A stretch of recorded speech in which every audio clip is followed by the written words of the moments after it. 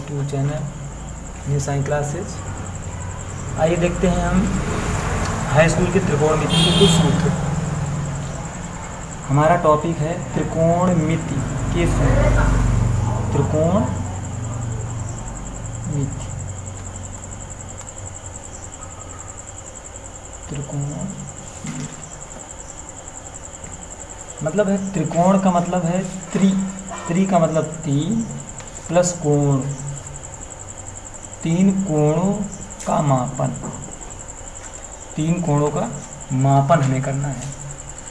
अगर एक समकोण त्रिभुज है ए बी सी तो जो ये ए बी जो है, ये आपका इंग्लिश में अगर देखें तो आपका हाइपोटेनियस है।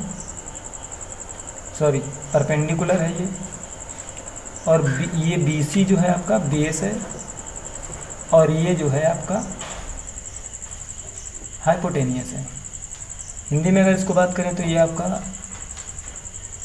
लंब है, ये आधार है, ये कर्ण है। इसके हिसाब से अगर हम इसका फॉर्मूला बनाएँगे, इसमें तीनों कोणों का मापन करना है। सबसे पहला पॉइंट इसका होता है साइन थीटा साइन थीटा बराबर हम लिख सकते हैं पी अपान बी ये इंग्लिश के बच्चों के लिए भी फ़ायदेमंद है।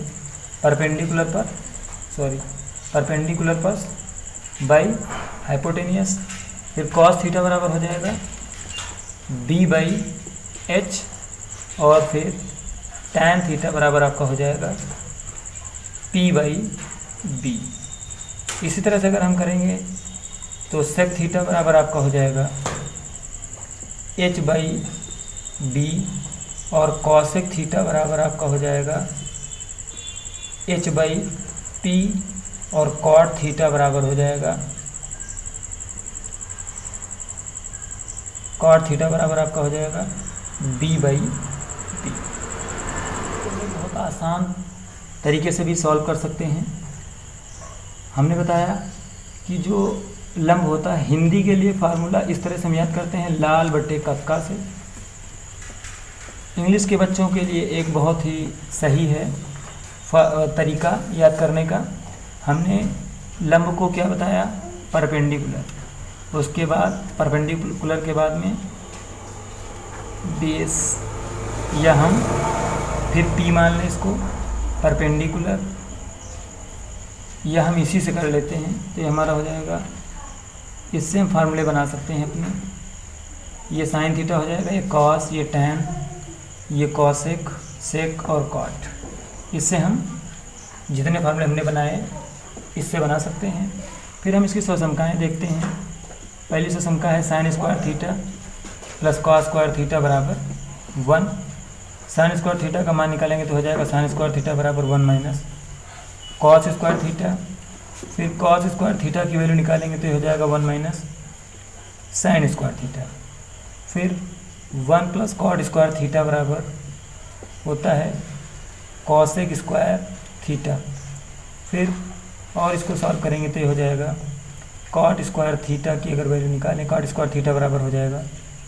Cosec square theta minus one और सॉल्व कर सकते हैं इसको। ये हो जाएगा cosec square theta minus cot square theta equal to one मैंने बताया था लाल बटे कक्का का सूत्र, उसको इंग्लिश मीडियम के बच्चों के लिए भी मैंने बनाया है। वो है P B P upon H H B इसको आप कह सकते हैं पंडित बद्री प्रसाद हर हर बोले। यानी कि P by H B by H और P by B English medium के बच्चों के लिए पी से परपेंडिकुलर ए से हाइपोटेनियस बी से बेस तो ये आपका साइन हो जाएगा, ये कॉस हो जाएगा, ये टैन हो जाएगा। उसके बाद ये कॉसेक ये सेक और ये कॉट हो जाएगा। इंग्लिश मीडियम के बच्चों के लिए बहुत ही अच्छा है। और उसके बाद हमारा भी स्वसंख्याएँ बची हुई हैं।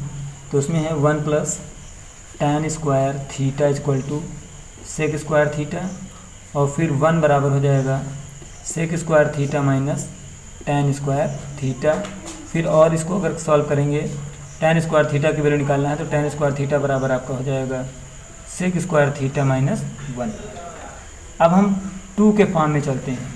अगर हमें साइन टू ए की वैल्यू फार्मूला निकालना है तो ये आपका हो जाएगा two sine A into cos A sine two A का फिर और फार्मूला भी है टैन के पदों में। तो वो आपका हो जाएगा two tan A upon one plus tan square A cos two A के बहुत सारे फार्मूले हैं तो कास टू ए बराबर हो जाएगा आपका two cos square A minus cos two A के और फार्मूले देखते हैं। कास टू ए बराबर एक होता है cos square A minus sine square A और फार्मूले हैं कास टू ए के।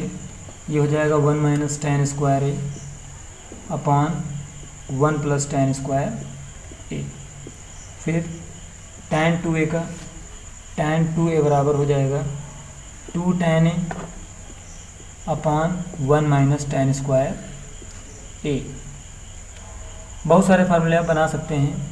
हाफ़ एंगल में भी इनके फार्मूले चलाए जा सकते हैं। जैसे साइन ए साइन ए का फार्मूला हो जाएगा two sine A by two into cos A by two cos का अगर हम फार्मूला बनाना चाहें तो कॉस ए बराबर हो जाएगा one minus two sine square A by two और फार्मूला इसका हो जाएगा two cos square A by two minus का one cos square A by two minus sine square A by A plus B के फार्मूले साइन ए प्लस बी ये हो जाएगा sine A cos B plus cos A sine B इसका अगला formula है sign ए minus B का. ये हो जाएगा sine A cos B minus cos A sine B फिर कॉस ए प्लस बी बराबर cos A, cos B minus sine A, sine B. फिर कॉस ए माइनस बी बराबर cos A, cos B plus sine A, sine B. Tan A plus B बराबर tan A plus tan B upon one minus tan A tan B फिर इसका अगला formula है ten A minus B का। ये हो जाएगा tan A minus tan B upon one plus tan A tan B